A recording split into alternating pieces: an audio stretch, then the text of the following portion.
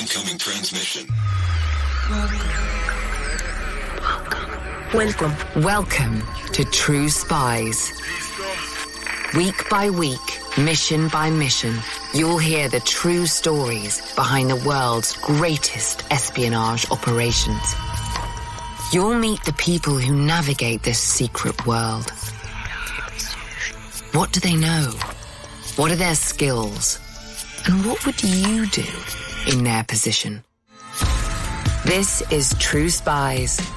So they needed a way to kill Trotsky silently, so he could leave the house and then just walk out and be buzzed out by a guard. They had originally planned on using an iron bar.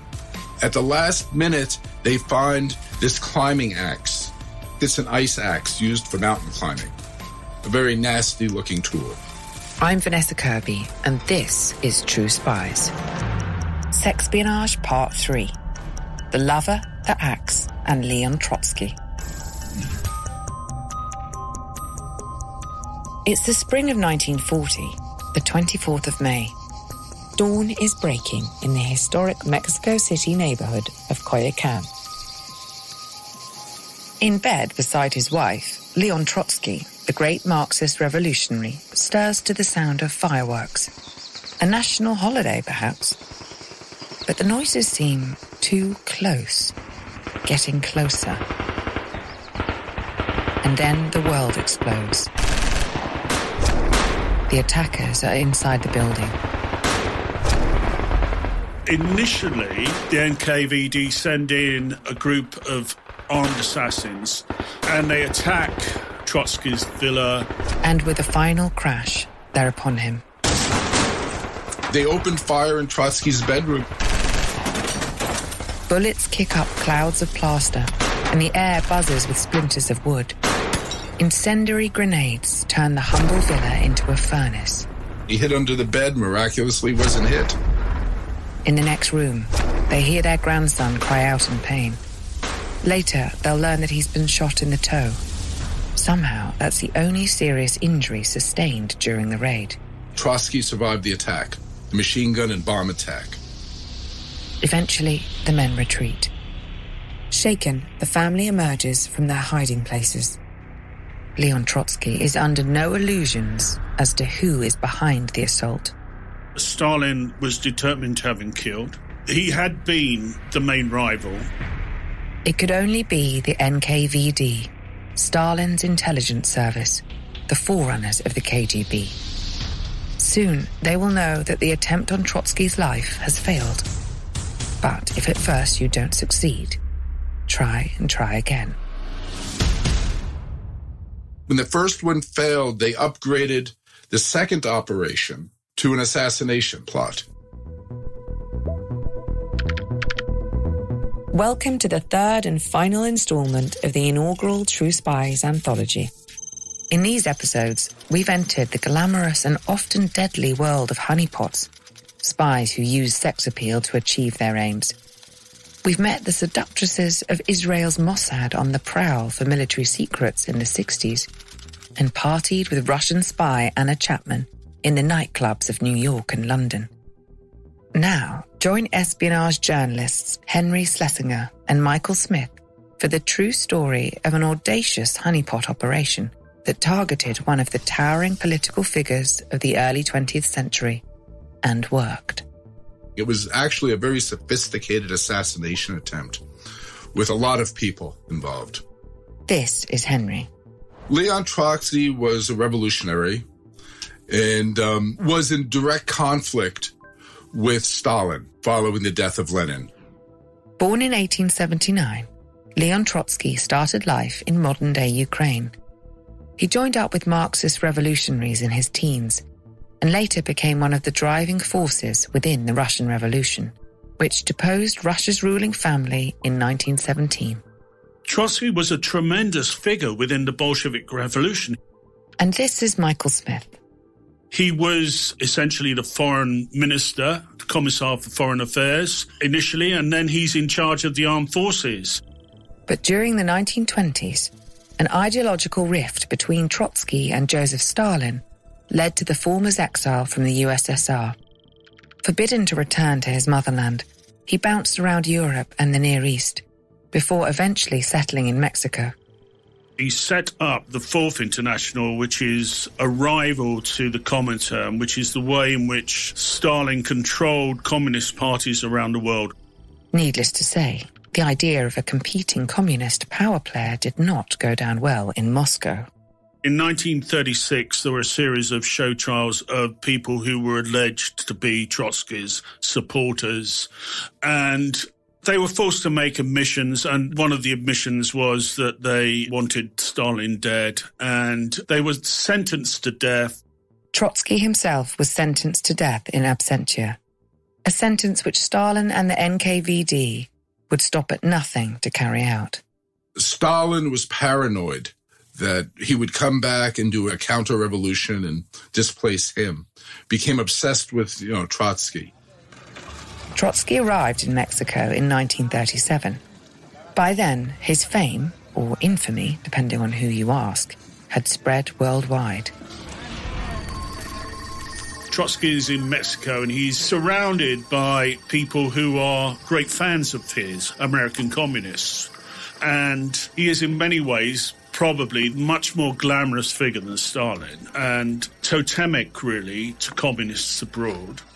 Three years after his arrival in Central America, it's one of these American hangers on who enables the first attempt on his life by the NKVD. They recruited a New York guy, Robert Sheldon Hart, who led in a gang of marauders dressed like Mexican policemen and government and um, soldiers. Robert Sheldon Hart was one of Trotsky's assistants on the Coyoacan estate. During the raid of the 24th of May, 1940, where Trotsky and his wife were attacked in their sleep, he disappeared.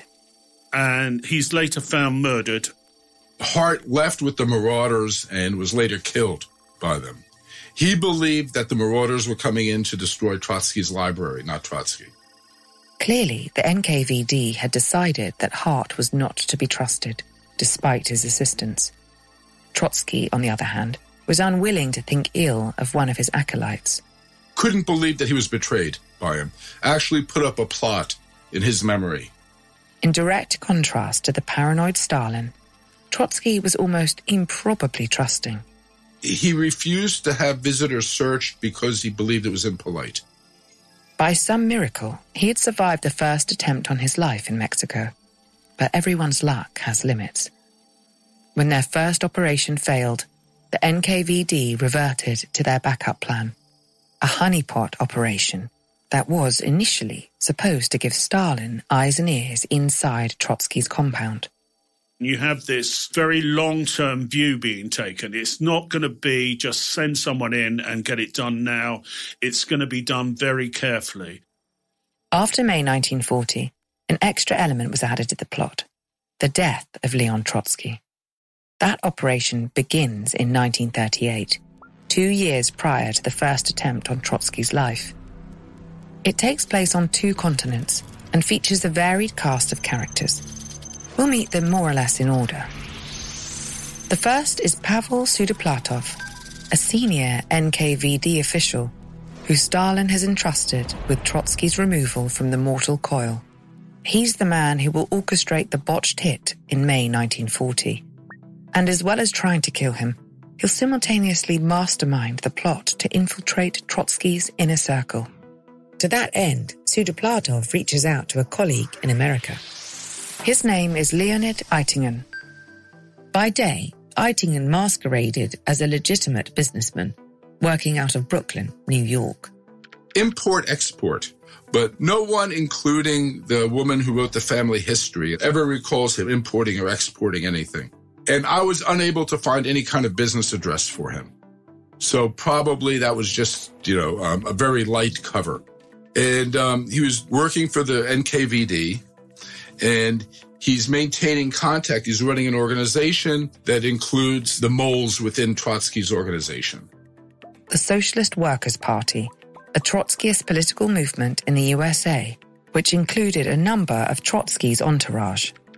Prior to the Second World War, there was a lot of communism in America. As far as the Soviet Union was concerned, the main enemy was the UK. And The authorities were not keen on communism at all, but it existed as a legal party.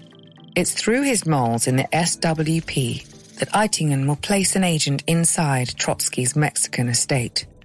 Trotsky's organization was rife with spies, so Eitingon reaches down into it and finds a woman who's plain, who's unattached, and, um, you know, perfect. Her sister worked for Trotsky, right?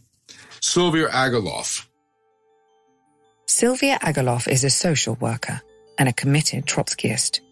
Hers is not to be the hand that pulls the trigger. No, unbeknownst to her, Ageloff's role is to be a stepping stone into Trotsky's inner sanctum. She was very plain and very withdrawn. Um, she wasn't anybody you would look twice at on the street. In many ways, the perfect target for a honey trap. Those who are overlooked by others are often the most susceptible to honey traps. Everyone likes a little bit of attention. For another example of an operation in this mold, check out episode 87 of True Spies, Stalin's Romeo Spy. Luckily, Leonid Eitingon knows just the match for Sylvia Ageloff. Meet Ramon Mercader, a Romeo spy par excellence. His mother was a communist and he'd grown up believing very strongly in communism and he was Spanish. So he was in Spain during the Spanish Civil War and working with the communists during the Spanish Civil War. And he's recruited then by the NKVD as an agent. Eitingon first met Ramon Mercader and his mother, Caridad, during the Spanish Civil War a bloody three year conflict in which left wing and right wing factions battled for control of the country. The NKVD was an active player behind the scenes, and the Mercaders, like Eitingon, were aligned with the Stalinist cause. Ramon Mercader had combat experience and had trained in spycraft in the Soviet Union during the conflict. And he's a good looking guy. That's important too. And when you know more about Eitingon's connection to the Mercader family, it's even easier to see why Ramon would have seemed like the obvious choice for the operation against Trotsky. So, Eitingon, he's a father figure to Mercader. He's a boyfriend to Caridad, right? He's Caridad's lover, boyfriend, whatever you want to call it. And he's worshipped by Mercader, Ramon, which makes his job of recruiting Ramon easier. I mean, how much easier does it get than having the mother help in the recruitment effort? Did Eitingon use his relationship with Caridad to persuade her to give her son to the cause? Did a honey trap beget a honey trapper? Well, that's unlikely. Ramon's mother was a die-hard communist and probably wouldn't have needed much persuading to offer up Ramon when the call came. Sometimes, in a world where manipulation is as natural as breathing, it's easy to forget that people do act on principle, as well as lust, money, ego, and coercion. By the time the decision to use Ramon is made in 1938, the 25 year old is studying at the Sorbonne, France's most prestigious university. When Eitingon comes calling, he's eager to help his NKVD father figure. Before the operation can begin, Leonid Eitingon needs to maneuver his stepping stone, Sylvia Ageloff, into Mercader's path. Their meeting has to appear natural, completely unplanned Ageloff has to be made to believe that she simply stumbled across the good looking Spaniard. They take her out of her natural environment of New York. They recruit another woman to invite her to Paris. That's Ruby Weil. She's a journalist and Socialist Workers' Party member who secretly reports to Eitingon, a Stalinist in Trotskyist clothing. Initially, the two women aren't close, but Ruby begins spending more time with Sylvia for Sylvia, a quiet, somewhat reserved character, the attention feels good. So when Ruby invites her on a trip to Paris to attend a conference of the Fourth International, Trotsky's political organization, she's thrilled. So Ageloff arrives with her friend, Ruby Weil, who's an AP photo editor, but also a member of the Socialist Workers' Party.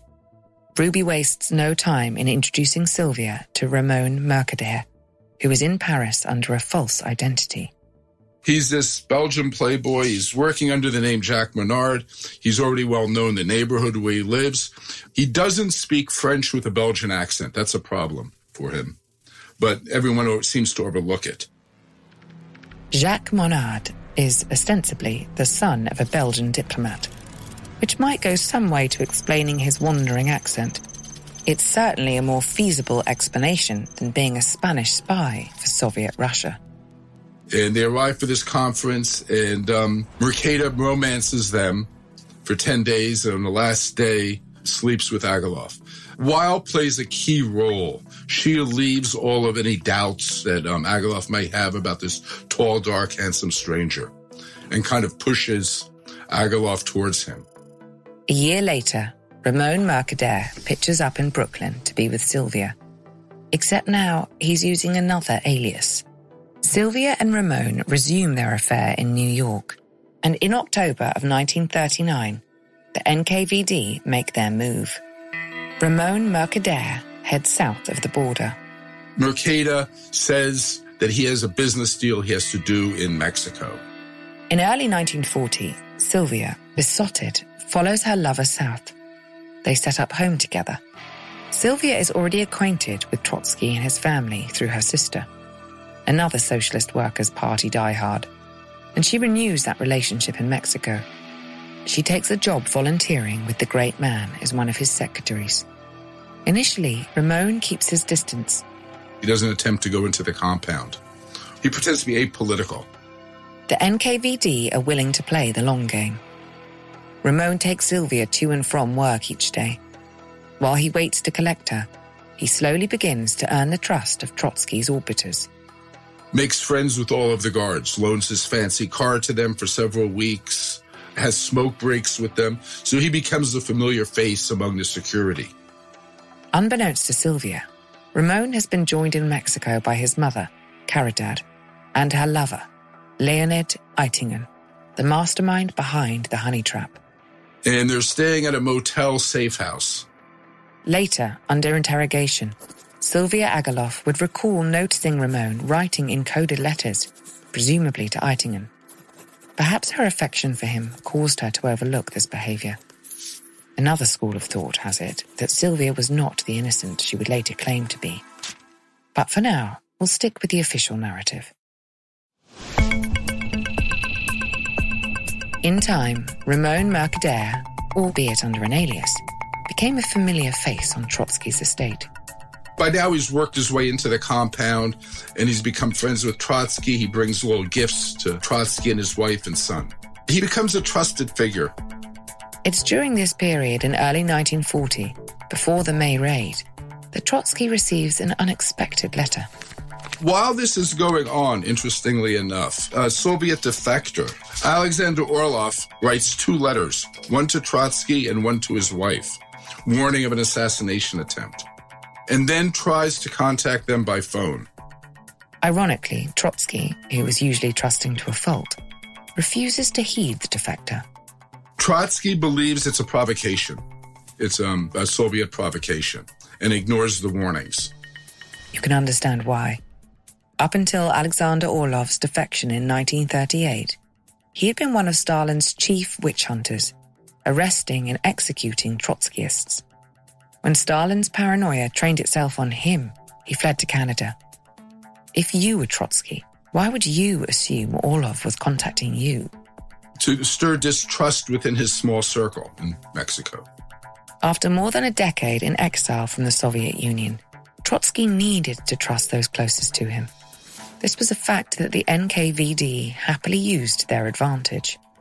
Orlov finally gives up and he's got his own problems. His um, daughter is um, ill, terminally ill, and he's on the run from both the FBI and the KGB at that point. As we know, on the 24th of May, 1940, Trotsky realized that Orlov's warnings were legitimate. A trusted member of his security team, an American called Robert Sheldon Hart, appears to give an NKVD hit squad access to the villa. Hart is murdered for his trouble and Trotsky, never believing in his guilt, mourns him as a friend. leaving a gap wide open for another young male acolyte to step into. Ramon begins to grow close to the revolutionary, whose guard is still down. The way that he insinuated himself into the household certainly made use of Trotsky's naivety in that sense. After the failure of the May raid, Leonid Eitingon is instructed to retool his infiltration plan into an assassination. Fortunately, Ramon Mercader, a trained killer and war veteran, is perfectly placed to do the deed. The trio, Ramon, his mother, and Eitingon, begin to put a plan together. First, they needed to assess the estate's vulnerabilities. They had increased security, so the door had to be opened by one of the guards, remotely. Understandable, given recent events. But this means that a guard controls access to the villa. Somebody is listening. A gun, then, is out of the question. So they needed a way to kill Trotsky silently, so he could leave the house and then just walk out and be buzzed out by a trusted guard or a trusting guard. Ramon Mercader would need to take a subtler approach to Trotsky's killing. If he could murder him without drawing undue attention, then he would be on his way out of the country before anyone on the estate discovered the body and raised the alarm. So then, the question is how best to dispense with the troublesome revolutionary? So they had originally planned on using an iron bar. He was strong enough and he was battle hardened, he wouldn't have hesitated. But by chance, Eitingon and Caridad come across a more suitable weapon, one more likely to deliver the intended result. At the last minute, they find this climbing axe. Most people believe it's an ice pick, the kind that you use at a cocktail lounge. In fact, it's an ice axe used for mountain climbing. A very nasty looking tool. The head of an ice axe is made up of two parts the pointed pick and the adze, a hammer like implement for breaking apart tougher sections of ice. The adze can deliver the kind of focused blunt force trauma that should induce unconsciousness with a minimum of fuss.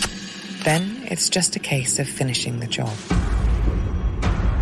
They find it in the storage shed at the motel where they're staying. Um, it belongs to the son of the owner. And they cut it down from 32 inches to 12 inches so we can hide it effectively. On the 20th of August 1940, the plan was put into action. Ramon Mercader enters Trotsky's estate. Nothing unusual about that. He claims that he wishes to get the great man's feedback on an article he's written for a communist paper. It was odd because he is wearing a raincoat when he arrives, and it's hot weather in Mexico. But the raincoat does serve a purpose to conceal the ice axe. Before long, Ramon has an audience with Trotsky. He lays his raincoat on the table.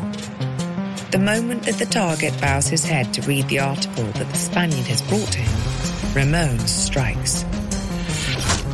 He hits him over the head with it, with the blunt end. The ice axe drives more than two inches into Trotsky's skull, piercing his brain. This should be a clean kill, but the old Bolshevik puts up a fight. It hurts. Trotsky is still conscious. He lets out a loud, loud scream. This has not gone to plan. Trotsky isn't killed he tries to wrestle with Mercader, and there's noise. It's far from quiet. Trotsky's bodyguards come in, and they pretty much try to kill Mercader. Before they can, Trotsky, ever the loyal friend, steps in. Trotsky says, No, we need to know why he's done this. The guards hold Mercader until he can be arrested by the Mexican police. Luckily, the NKVD has prepared a contingency for this outcome. On Mercader's pocket, there's a letter, a long rant against Trotsky about how Trotsky prohibited him from marrying Ageloff, which was to throw off the scent of the police in case he was captured. On the surface, this seems like a crime of passion, rather than a targeted assassination by a state apparatus. Outside the estate, two cars await Ramon's reappearance. When he fails to return, they tear away. Mercader's taking into custody Caridad and Eitingon. Um, they were waiting outside the compound for him. They take off. There's a plane waiting for them. They fly out. If you're thinking about your own mother and hoping against hope that she'd stick around if you were caught in a similar jam, then remember this. Both Caridad and Ramon were true believing communists in the Stalinist mold. Ideology always came first. Meanwhile, Leon Trotsky is admitted to hospital. A day later, on the 21st of August, he succumbs to blood loss and shock. For him, the revolution is over. Mercader is found guilty of his murder. He's given 19 and a half years. He serves all of it. On his release, just like Anna Chapman 70 years later, he is given a warm welcome in the motherland. Along with his mother, he is designated a hero of the Soviet Union. And Leonid Eitingon? Does he get a happy ending too? He returned to Moscow and um, caught up in the purges. Stripped of his titles and accolades in a purge that targeted Russian Jews within the Kremlin, Eitingon died in relative obscurity in 1981 at the age of 82, which just leaves Sylvia Ageloff. Naturally, as the lover of Ramon Mercader, she falls under immediate suspicion in August of 1940. The Mexican authorities couldn't believe that Ageloff wasn't involved. In fact, a subsequent investigation by the FBI and Mexican authorities is convinced that Ageloff knew exactly what she was doing. They're about to throw the book at her when she's cleared by higher ups. To this day, we don't know exactly why. She was cleared and she returned to Brooklyn and became a kindergarten teacher, changed her name. At first, she was portrayed as a femme fatale, a tall, willowy blonde in the local press. And then that faded away. No accolades, no fame, no fortune. Whatever her true involvement, Sylvia Ageloff was glad to wash her hands of this insalubrious period in her life. A quiet note on which to end one of the most famous but little understood honeypot operations of the 20th century. It's a case that brims with the essence of spycraft, its ability to empower individuals, or small groups, to cause powerful ripples in history who needs an army when you have an ice axe? Before we go, we'd like to thank Henry Schlesinger and Michael Smith for lending their expertise to this anthology. Henry's latest book, Honey Trapped Sex, Betrayal, and Weaponized Love, is available now. And in August, you can pick up Michael Smith's latest work, The Real Special Relationship. I'm Vanessa Kirby. Join us next time as we follow the CIA's first mission in Afghanistan in the aftermath of 9 11. Or if you're a subscriber to Spyscape Plus on Apple Podcasts, there's no need to wait.